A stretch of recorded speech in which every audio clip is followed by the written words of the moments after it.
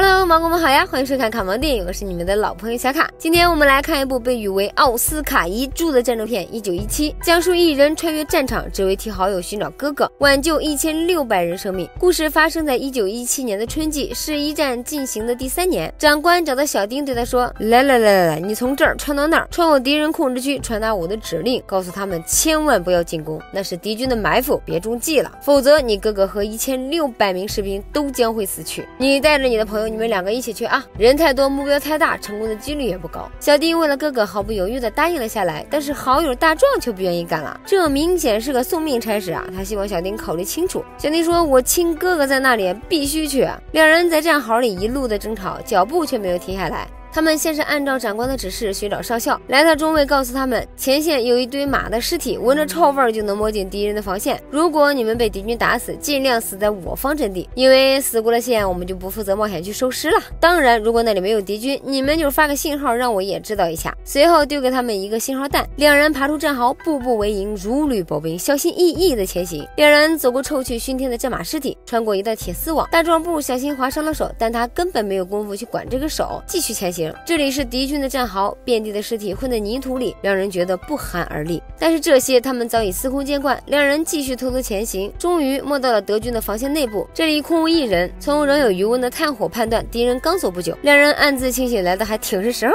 顺着可以行走的路线，他们摸到敌人休息的地洞，他们正在感叹敌军睡的床比我们的好哎。一只老鼠引爆了敌军埋伏的炸弹，这敌军太聪明了，走也不忘设下埋伏。大壮瞬间被埋在了废墟里，小丁想也不想的徒手扒开石。块救出好友，大壮的眼睛看不见了。小丁让他紧跟着自己行走。糟糕的的是，路面竟然有一个深井。小丁声嘶力竭地喊道：“兄弟，你得相信我，跳过来！扎普扎普扎扎普！”他成功的跳了过来，两人踉踉跄跄，终于走出了地洞。大壮用水清洗了眼睛，原来是红尘蒙住了。从鬼门关出来的大壮变得暴躁，他抱怨小丁为什么拉自己来送命。在一顿发泄之后，他还是默默选择陪同好友一起完成这个任务。小丁两人打出信号弹，告诉大家敌人已经撤退。路上为了缓解两人的紧张和恐惧，他们开始聊了起来。小丁说：“等我回去，我就向貌美如花的小仙女小卡求婚。如果被拒绝的话，我就找村西头的王寡妇撮合算了。你还是找王寡妇吧。”正说着，就来到了一处农庄，满院的果树上开满了洁白的花，花瓣飘洒在空中，扑鼻而来的花香让小丁想起了奶奶的果园。春天万物复苏，本该是生机盎然的季节，但由于战争，他们的生活似乎都是冰冷的灰色。他们来到了被敌军废弃的院子，意外发现被遗落牛奶，哇！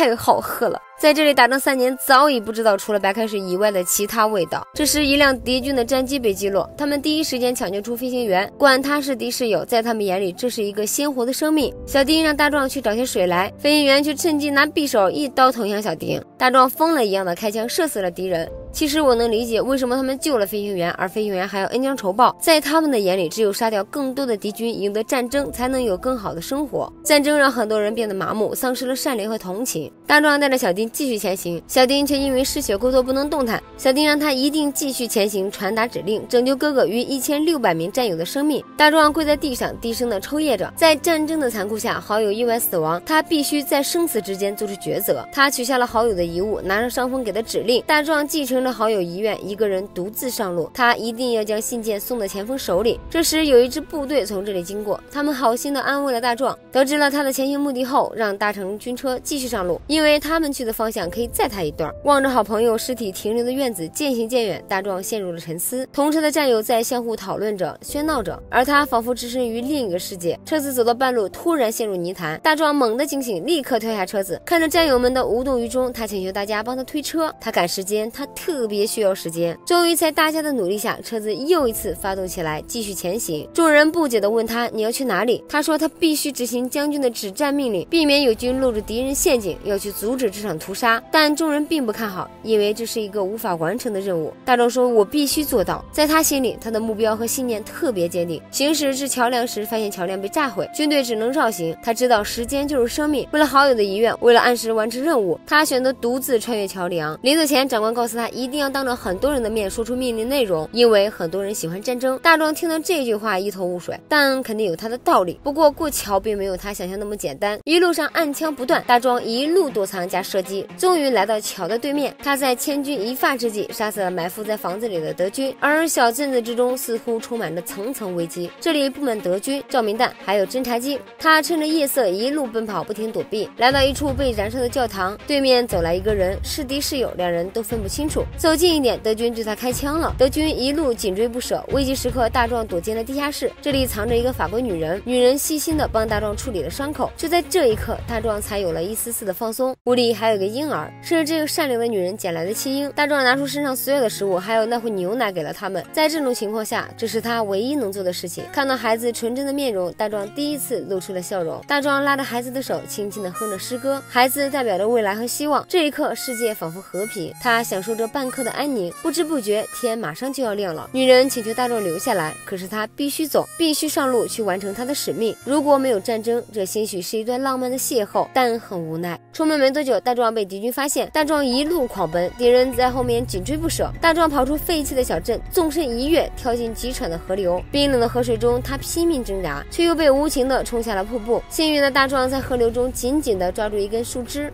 终于，他没有了力气，缓缓地昏睡了过去，却又被水呛醒，一股恶臭扑鼻而来，水面上布满尸体。他越过尸体，奋力地爬上了岸，再也忍不住失声痛哭。此时，他隐隐约约地听到了歌声，他顺着歌声一路寻找，终于再次见到了自己的战友。大壮瘫坐在地上，静静地听战友唱歌，一首关于思念家乡的小调。他也陷入了幻想之中，仿佛回到了自己幸福的童年。被战友发现后，大壮傻傻的、呆呆的，嘴里不停地说：“我要找到德文团。”战友。告诉他，我们就是大壮，立马站起来询问指挥官的位置。在人群中、战壕中，他一遍遍地问着指挥官在哪里。没想到战争已经开始打响，他看到战友不断在身边死去，他必须阻止这场进攻，挽救这些战士的生命。大壮不顾生命危险，只身跑出战壕，横越整个战场去传达停止进攻的命令。他在冲锋的战场上不断地奔跑着，好不容易冲到指挥所的大壮却被两名士兵拦了下来。他一把推开士兵，闯了进去，拿出信，大声喊：“必须停止进攻！”但是。指挥官并没有要停下来的意思，他要乘胜追击，端了敌人的老巢。大壮说那是敌人的陷阱，并拿出司令的手信给他看。现场那么多人，他也不好拒绝。看到信上的指令，他停止了进攻。但是指挥官很生气，在他看来，他想继续战斗，尽早结束战争，性子太急了点儿啊！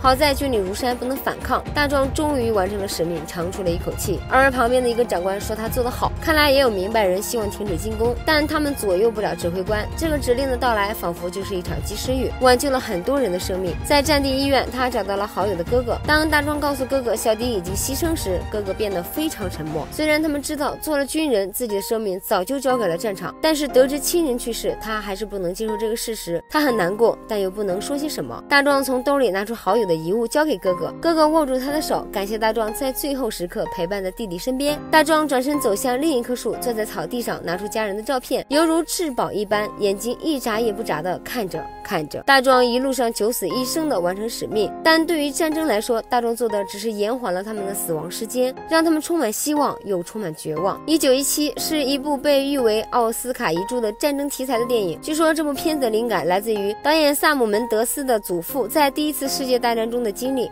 他连续斩获了奥斯卡最佳摄影、全球奖最佳剧情片，一镜到底的完美运用，更是让人们叹为观止。但更多还是通过小人物的视角，让观众去思考战争的意义。最打动人心的不是一镜到底的高超拍摄手法，而是整个故事的内核——爱与生命。好啦，今天的解说到这里就结束啦。喜欢小卡解说的小伙伴，别忘了关注我哦！拜了个拜。